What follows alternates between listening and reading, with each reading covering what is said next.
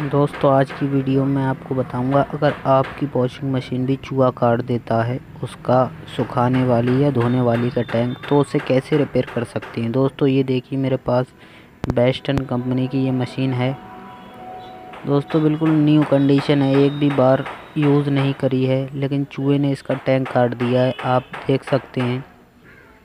दोस्तों, टैंक तो इतनी बुरी तरीके से काटा है इसका चूहे ने। इस जगह तो कोई ट्यूब पंचर भी नहीं लग सकता। दोस्तों, सबसे पहले हमें जो है इसका ग्लोब खोल कर निकाल लेना। एक एक तार भी इसका काट दिया है चूहे ने। तार तो आप लोग कलर बाई कलर जोड़ सकते हैं, उसका कलर कोड मिलाकर। लेकिन ये जो आप देख रहे हैं, टैंक इसका कटा हुआ, ये आप नहीं जोड़ सकते। दोस्तों, चलिए करते हैं इसका काम स्टार्ट। टैंक जोड़ते हैं।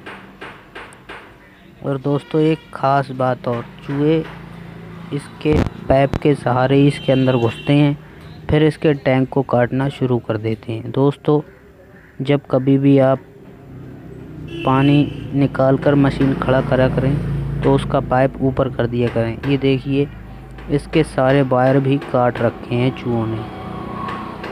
दोस्तों, ये देखिए, नीचे से इसका टैंक बहुत बुरी तरीके से कटा हुआ है। और इसके ऊपर के टाइमर के तार भी बहुत बुरी तरीके से जड़ से मिलाकर काट दिए हैं चूहों ने। देखिए, मैंने वायरिंग करने के लिए निकाल लिए हैं। चलो, इसके टैंक में जुगाड़ करते हैं दोस्तों। दोस्तों, आपको एक प्लास्टिक ले लेना है और उसको पिलगा पिलगा कर आप टैंक में नीचे से कोई ठोस चीज़ लगाकर रोकें और ऊपर से प्लास्टिक, जैसे कि मैं जोड़ रहा हूँ, इस तरकीब से जोड़ें। हंड्रेड परसेंट आपकी लीक रुक जाएगी। और दोस्तों, इस वीडियो में मैं आपको लीक भी रोक कर दिखाऊँगा, इसकी लीक रुकती कैसे है।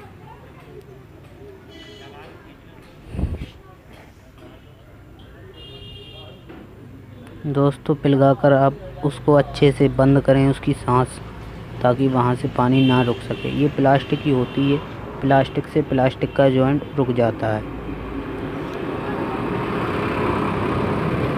ये एक घरेलू उपाय है दोस्तों, इसको आप अपने घर पर भी कर सकते हैं। दोस्तों, अभी मैं और थोड़ी प्लास्टिक गर्म करूँगा। पहले इसका ये काट देता हूँ।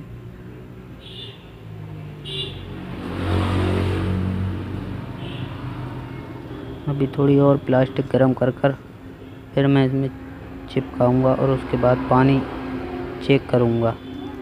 ठीक है दोस्तों। अब इसमें पानी डालकर देखते हैं, ये देखिए। दोस्तों, मैंने पानी डाला। एक बूंद भी पानी नहीं निकलेगा, दोस्तों।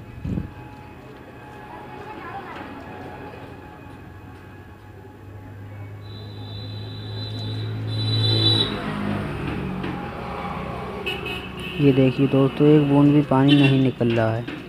हमारी वॉशिंग मशीन के टैंक जो है, अब जुड़ चुका है।